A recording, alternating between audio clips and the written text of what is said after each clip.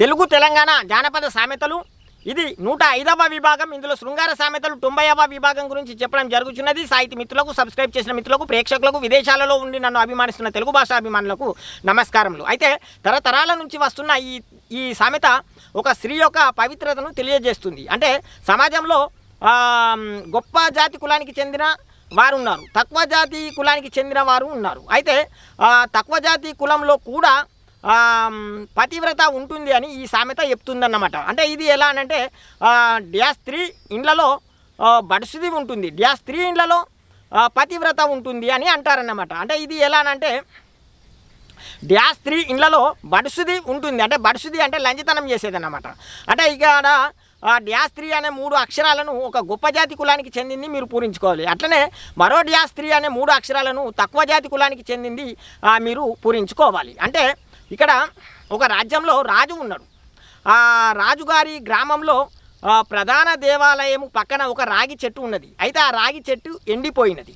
అయితే ఈ రాగి చెట్టు ఎందుకు ఎండిపోయినది అని చెప్పి చెప్పి ఈ మన రాజు పండితులను పిలిపించిండ్రు. ఆ పండితులు వచ్చి జ్యోతిష్కము పంచాంగం చూసి వాళ్ళు ఏమన్నారంటే రాజా మీ రాజ్యంలో ఏ కులానికి చెందిన స్త్రీ అయినా పర్వాలేదు. ఆమె పతివ్రత అయి ఉండాలి. భగవంతునికి మొక్కి కోనేరులో స్నానమాచరించి తడి బట్టలతో ఇత్తడి బిందెతో రాగి చెట్టుకు నీరు పోసినట్టయితే ఆ రాగి చెట్టు తప్పనిసరిగా ఇగురు వస్తుంది రాజా అని చెప్పి చెప్పి పండితులు చెప్పి వెళ్ళిపోయిండు వెళ్ళిపోయిన తర్వాత ఈ రాజు ఏం చేసిండు? తన రాజ్యంలో డప్పు చాటింపు చేశాడనమాట అంటే దండోర వేయించాడు.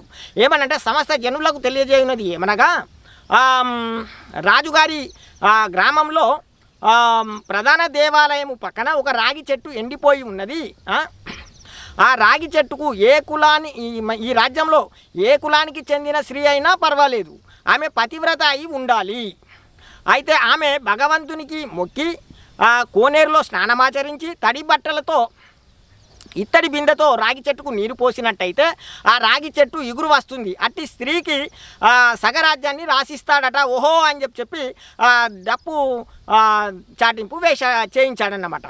డప్పు చాటింపు చేయించిన పిదప ఆ మాటలను ఒక గొప్ప జాతి కులానికి చెందిన అతను విన్నాడు.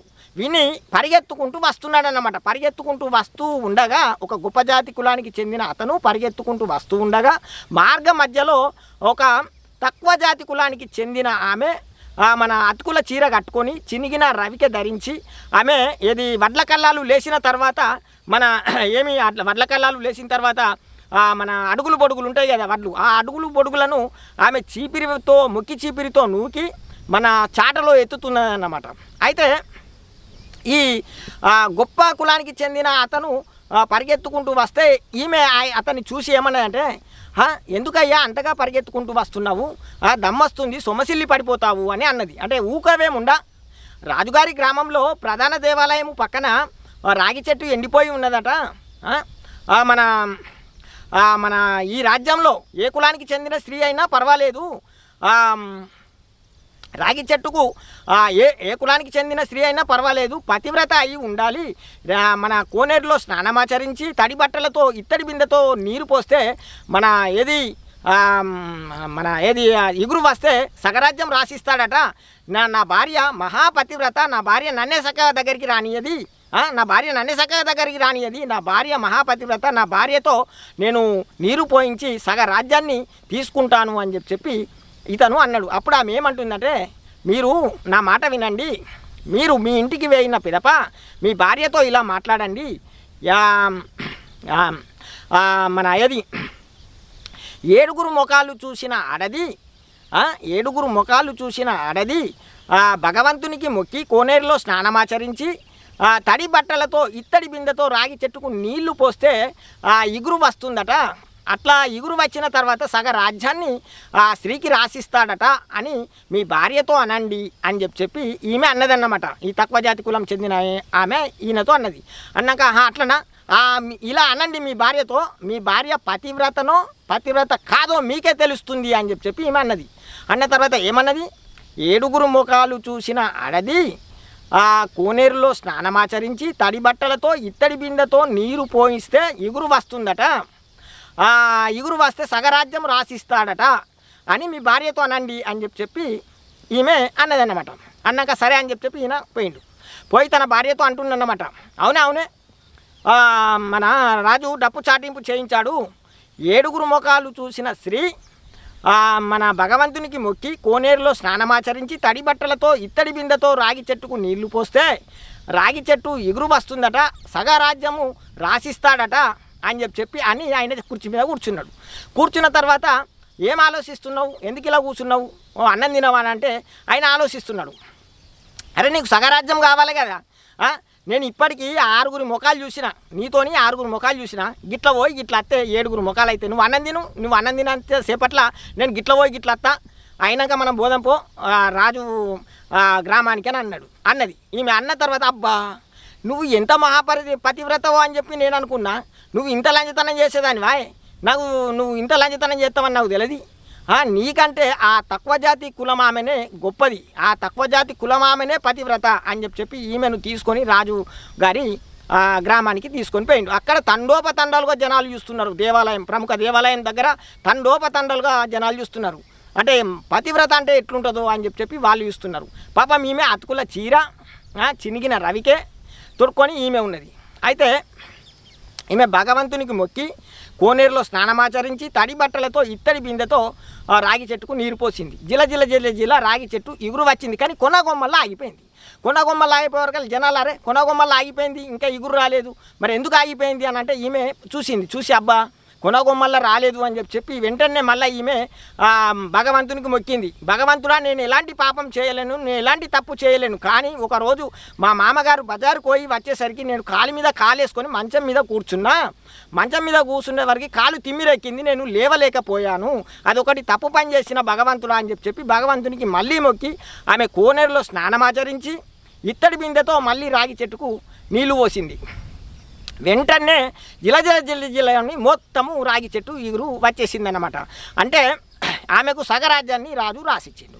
అంటే చదువది ఎంత కలిగిన రసజ్ఞత ఇంచుక చాలకున్న ఆ చదువు నిరర్థకము గుణ సంయుధులు ఎవ్వరు మెచ్చరెచ్చటం. బదనుగా మంచి కూర నల పాకము చేసిన పొదివెడు నుప్పు లేక రుచి పుట్టగా నేర్చునయ్య భాస్కర అని చెప్పి చెప్పి మన వాళ్ళు ఒక భాస్కర శతకంలో ఉన్నది. అంటే ఎంత చదువు చదివినా వినయ విధేయతలు సంస్కారం అనేది లేకపోతే ఆ చదువు నిరర్థకంబు.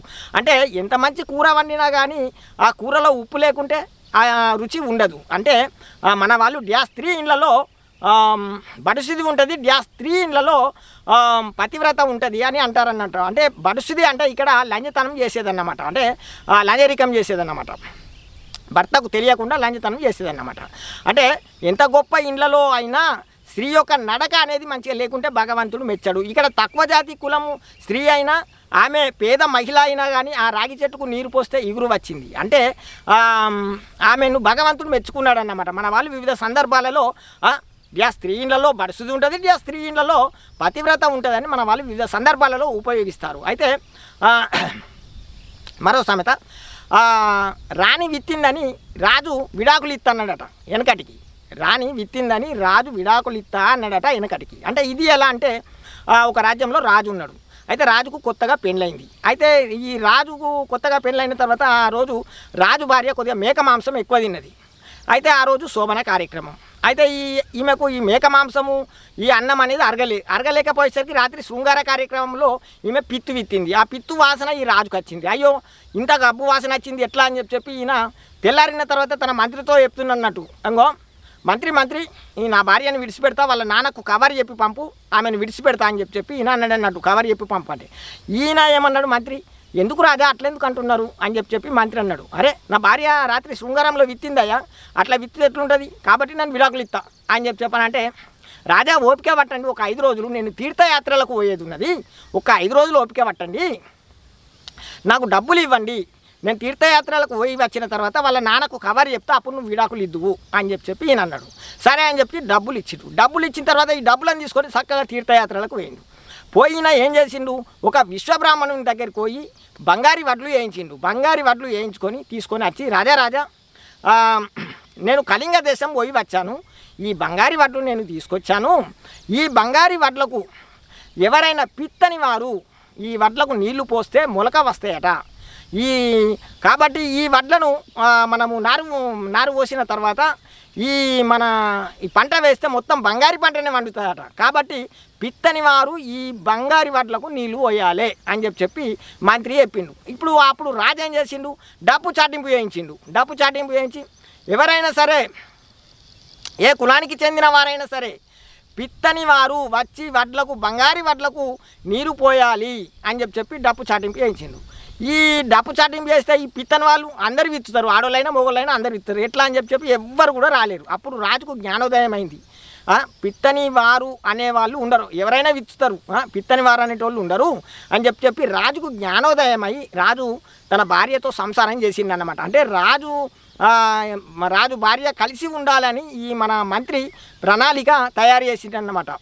ప్రణాళిక తయారు చేసి వాళ్ళ సంసారాన్ని కలిపిండు. అంటే మన వాళ్ళు వివిధ సందర్భాల్లో అంటారు అన్నట్టు అవ్వ అవ్వ ఇది రాయికంటికి పోయింది. రాయికంటికి పోయి పొద్దుగల్లా పదకొండు గంటలకు మార్నింగ్ షో చూసింది.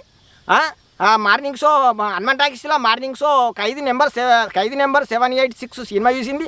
మళ్ళా మ్యాట్నీ షో మహేశ్వరి టాకీస్లో తలంబ్రాలు సినిమా చూసింది. మళ్ళీ ఐదు గంటలకు బట్టల దుకాణంలో పోయి బట్టలు కొనుక్కొని వచ్చింది. ఇది ఉన్న పైసలన్నీ ఖర్చు పెట్టే ఏమా ఇది అద్దెద్దు దీన్ని ఇడాకులు ఇస్తా. ఇది నాకు వద్దే వద్దనంటే "ఆ, అట్లనే నారా సినిమా చూడని వాళ్ళు ఉంటారా? సీర కొనుక్కొని ఉంటుందా ఇదే నా పద్ధతి ఇదే నారా రీతి. సినిమా చూసినంత మాత్రాన విడాకులు ఇస్తావురా అని తల్లి అంటదన్నమాట కొడుకును. అది ఆ పద్ధతి కాదు బిడ్డ ఏదో రాజు అట వెనకటికి రాణి విత్తిందని రాజు విడాకులు ఇస్తానట అన్నట్టే ఉన్నది నీ కథ అని చెప్పి మన వాళ్ళు వివిధ సందర్భాల్లో ఈ సామెతను వాడతారు. మరిన్ని శృంగార సామెతలతో మరో విభాగంలో మళ్ళీ కలుసుకుందాము.